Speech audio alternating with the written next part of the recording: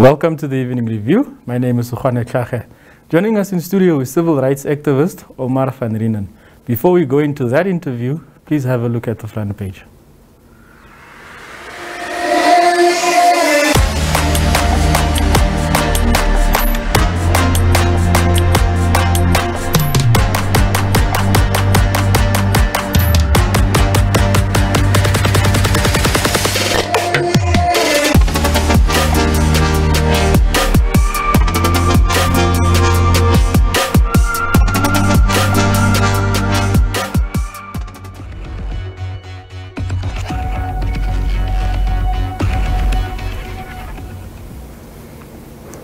Welcome to the Evening Review and thank you for accepting our invitation. Thank you, Khone. It's a pleasure to be here.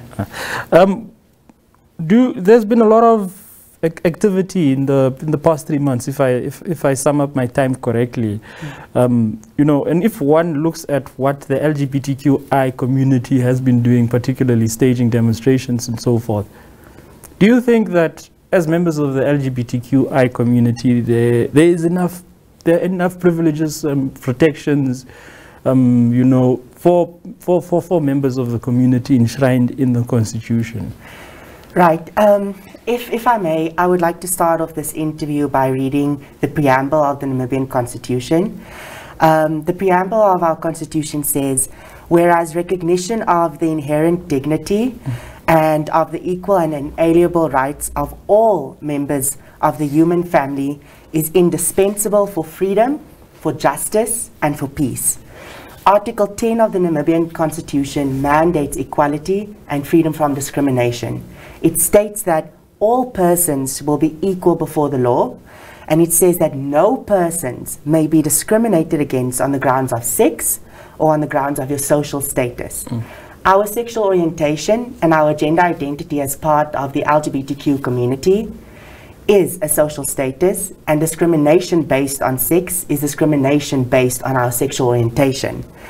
Look, Ochone, the nature of injustices is that we may not always see it um, in our own times. Um, the liberators, of, of whom uh, President Hage Geingob was part of, mm. uh, they wrote and ratified the Bill of Rights, which is enshrined in our Constitution. Um, they did not presume to know the extent of freedoms in all its dimensions. And so they entrusted future generations a charter, which is chapter 3 of the Namibian Constitution, which protects the rights of all persons to enjoy liberty as we learn its meaning. And right now, we do not enjoy that liberty. So what is the meaning of liberty, of freedom, and of equality? To us as a born-free generation mm. who are part of the LGBTQ community, there is no meaningful freedom if there is no equality. How can we call ourselves born free if we don't have equal access to the law? LGBTQ rights is not only a civil rights issue, it's a human rights issue. But LGBTQ rights is the civil rights issue of our generation, and it's a civil rights issue that disproportionately affects the youth of Namibia. Mm. The Constitution is an essay it's an essay of our aspiration towards celebrating our diversity as our biggest strength as society, celebrating our aspirations towards true justice and true equality. Um, and Article 10, which I just read uh, previously, it's tr truly a beacon of inclusivity, and it's a bridge to a Namibia that shows that we honor, respect, and accept one another's dignity, my dignity as an LGBTQ person's.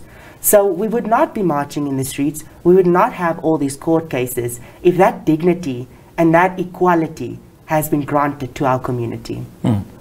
Um, day-to-day experiences um, lived as as a member of the community. You know, when you when you're out there in the streets. So, for example, if you live if you leave the studio now, and you go about your business to the supermarket, or you go home, or you go have lunch with a friend, whatever the case may be, what what other experiences or what are the things that you confront on an almost daily basis? Right.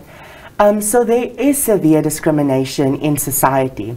But let me be clear that this discrimination uh, towards the LGBTQ community, it's not innate. It has been taught, right? It has been taught to us by our government and by our leaders.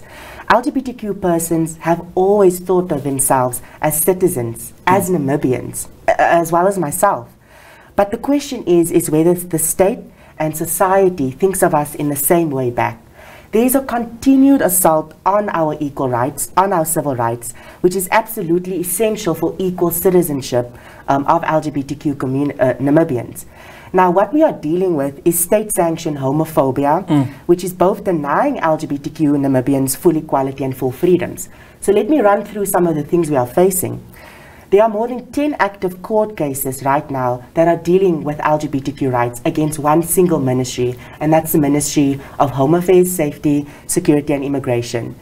Um, sexual orientation was removed as a prohibited form of discrimination from the Labour Act, which has been in there since 1992. But it's been removed by the then Minister of Justice in 2004, mm. which was Honorable Kawana which means that your boss can fire you if you display your sexual orientation or gender identity in the workplace. The Combating of Domestic, Viol Domestic Violence Act only protects domestic violence in opposite sex relationships.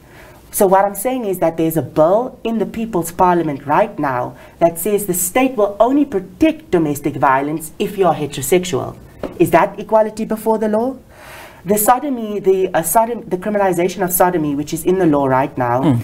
that polices our sexual activity, that polices gay men's um, right to choose the person they love.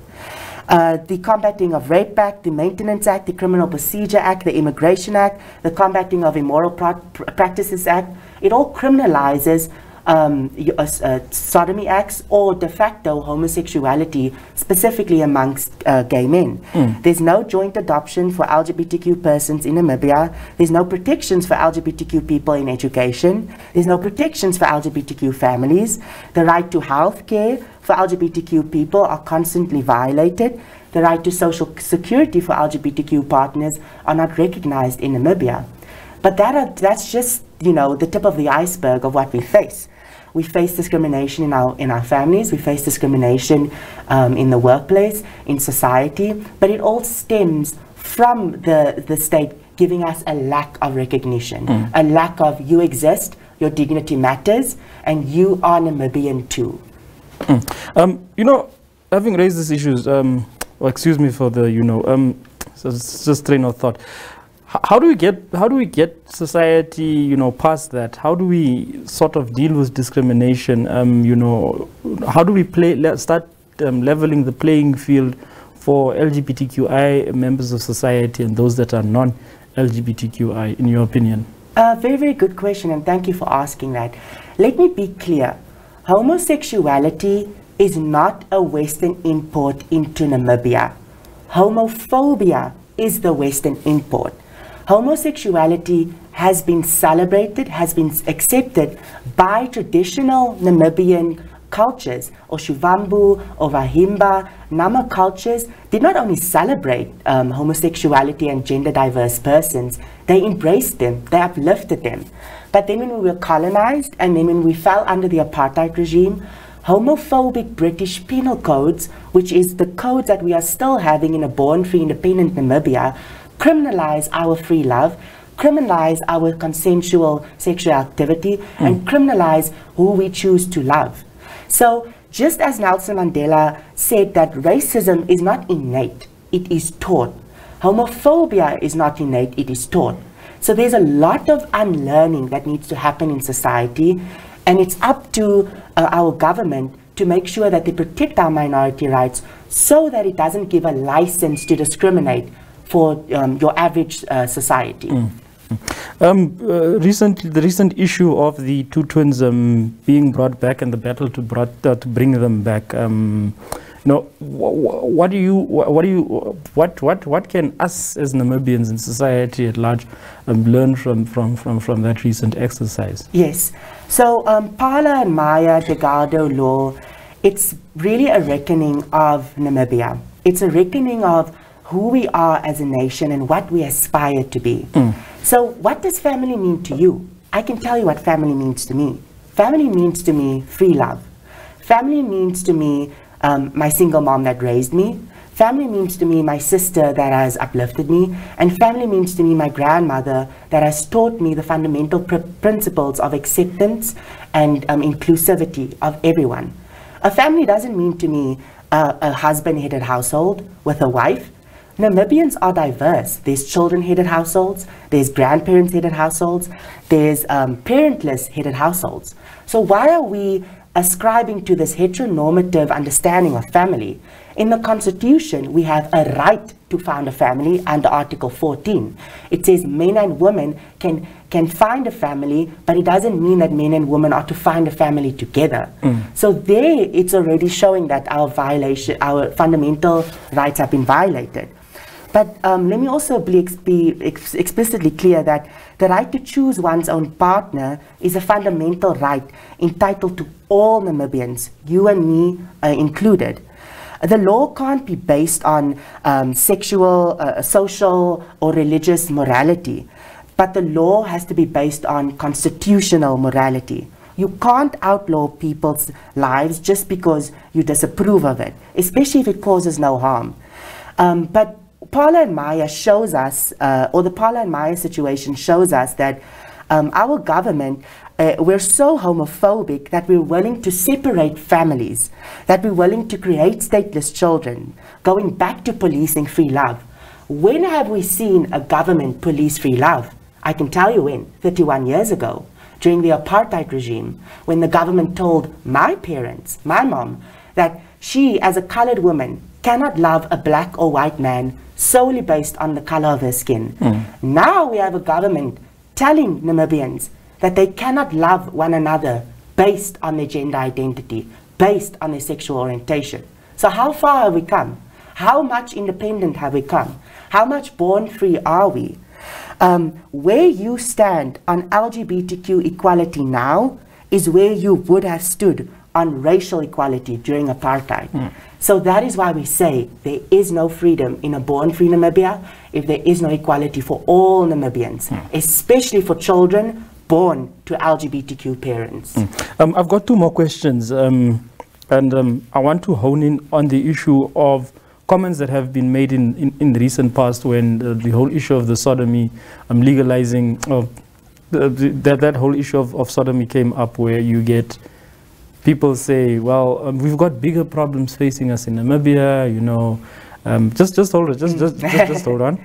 And that, you know, yeah, but why do uh, uh, LGBTQI members of society feel that society is against them? You know, they've got equal rights. We don't, we don't, we don't, we don't, we don't make it, a, we don't make it a mission to, to, to, to, to go after them, to hurt them, to injure them. You know, all of these things come up. What do you say about, about such? Um, right. So, as I've mentioned, LGBTQ rights is very much a civil rights issue of our generation. LGBTQ rights is bread and butter issues. For the government or for people to say we have bigger things to worry about, like unemployment, um, drought, and stuff, it, it, it, devalues our human dignity and it devalues our pursuit for justice. Mm. In fact, our social identity as LGBTQ people, as a minority group, might push you into those socioeconomic um, statuses even worse. I am gay before I'm unemployed. Um, pe uh, people are women before they don't have equal access to jobs. Uh, people are indigenous before they don't have equal access to education. You cannot deal with all those economic factors, unemployment, education, drought, if you do not deal with the equality on the ground, if you do not deal with the civil rights issues on the ground. So deal with my civil rights issues, give me my equal protection under the law, and that might uplift me into getting a job, into being accepted in a workplace without fear from being fired based on my social, uh, sexual orientation. Mm. So if to say that you have to prioritize issues and that civil rights issues aren't the bread and butter issues, I mean, come on, where do we come from? We come from a, a, a time where people were also told, you know, oh, like, there's, there's, there's good hospitals for coloreds, there's good schools for blacks, there's good jobs for whites. We're all fine, you know. There's, why do we have to deal with equality? But people's dignity was still undermined, and people's access, equal access under the Constitution were not seen as, um, as, as, as, as equal. So it's, it's very disheartening to hear that um, our LGBTQ civil rights and human rights issues aren't bread and butter issues, because they very much are. Mm. And then um, lastly, the coalition, um, recently established coalition, Equal Rights Namibia, Um, what was the motivation behind its establishment and what is it that you are hoping to achieve? Right. So uh, the Namibia Equal Rights Movement, known as Equal Namibia, is a youth-led, grassroots activist and community-led um, organization uh, supported by more than 18 human rights civil society organizations that are moving towards our pursuit for realizing the constitutional promise for all Namibians, especially LGBTQ Namibians.